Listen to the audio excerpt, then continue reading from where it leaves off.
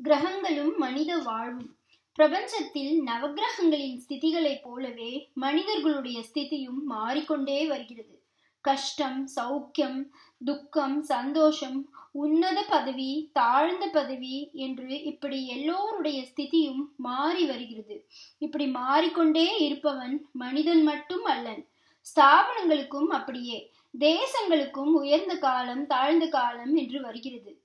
லோகத்தில் நடக்கும் சுகதுக்கங்களுக்கும் கிரகங்களுக்கும் சம்பந்தம் உண்டு என்று கண்டு மகரிஷிகள் இன்ன இன்ன மாதிரி கிரகங்கள் இருந்தால் இன்ன இன்ன பலன் கிடைக்கும் என்று சொல்லியிருக்கிறார்கள்.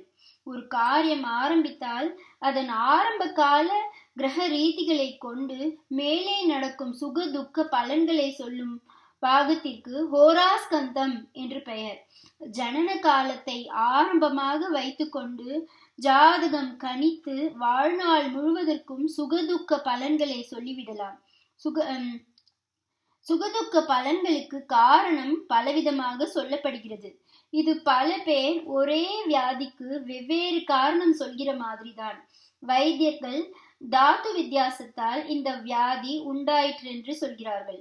மந்திரவாதி தெய்வ கோளாறு ஏற்பட்டிருக்கிறது என்று சொல்கிறான். ஜோதிஷன் கிரக கதியால் அது வந்தது என்கிறான். தர்மசாஸ்திரமோ பூர்வ கர்ம பலன் என்று சொல்கிறது.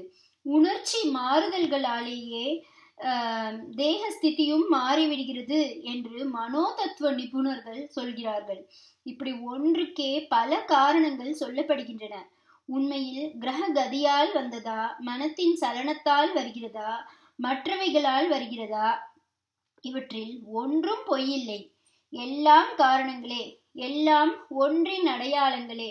நாம் தெரிந்து கொள்வதற்காக இப்படி பல வகையிலும் காரணங்கள் ஏற்பட்டு ஒன்றாக கூடி அனுபவத்தை கொடுக்கின்றன. ஒவ்வொருவர் ஒவ்வொரு காரணத்தை எடுத்துக்கொள்கிறார்கள்.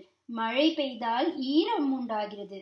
ஈசல் உண்டாகிறது தவளை கத்துகிறது. இவ்வளவும் மழை பெய்ததற்கு அடையாளங்கள். அதுபோல் நம் பூர்வ கர்மாவின் பலன் உண்டானதற்கு அநேக அடையாளங்கள் அமைகின்றன. ஒவ்வொன்றும் அதற்கு அடையாளம்தான். எல்லாவற்றிற்கும் சம்பந்தம் உண்டு. கர்மாவை அனுசரித்து கிரககதி ஏற்படுகிறது வியாதி ஏற்படுகிறது மன சஞ்சலம் உண்டாகிறது பிசாசாதிகளின் பீடை உண்டாகிறது. எல்லாம் ஒரு கர்மாவின் பலனாகவே உண்டாகின்றன. ஒவ்வொரு வழியிலும் தெரிந்து கொள்ளலாம். இவற்றில் கிரக ரீதியாக உள்ள பலன்களை தெரிந்து கொள்ள கணக்கு மிகவும் உபயோகமாக இருக்கிறது.